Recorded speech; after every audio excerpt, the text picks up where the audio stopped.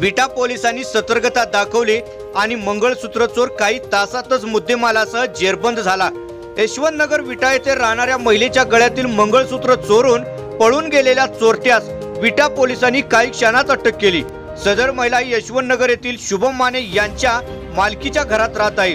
तिचे नाव सौ आरती राकेश पाल वय वर्ष तीस मूळ गाव माहे जिल्हा भिंड मध्य प्रदेश असे आहे. सदर महिलेने मंगळसूत्र चोरीची फिर्याद विटा पोलिसात दिल्यानंतर विटा पोलीस ठाण्याचे पोलीस निरीक्षक संतोष डोके यांनी तात्काळ व जलद कारवाईचे आदेश दिले. त्या अनुषंगाने गुन्हे प्रकटीकरण शाखेतील कर्मचारी कामाला लागले. त्याचवेळी पोलीस नाईक राजेंद्र भिंगारदेवे यांना गोपनीय माहिती मिळाली. सदर गुन्हा श्रीकांत मल्लाप्पा केंगार व त्याच्या साथीदार यांनी केल्याचे व सध्या ते खानापूर रोड येथे लोखंडे हॉस्पिटल समोर उभे आहेत. ही माहिती मिळताच सहाय्यक पोलीस निरीक्षक कोळेकर हे आपला फौजफाटा घेऊन त्यांना ताब्यात घेण्यासाठी गेले. त्यांची अंगजडती घेतली असता सदर चोलीस केलेला मुद्देमाल मिळून आला.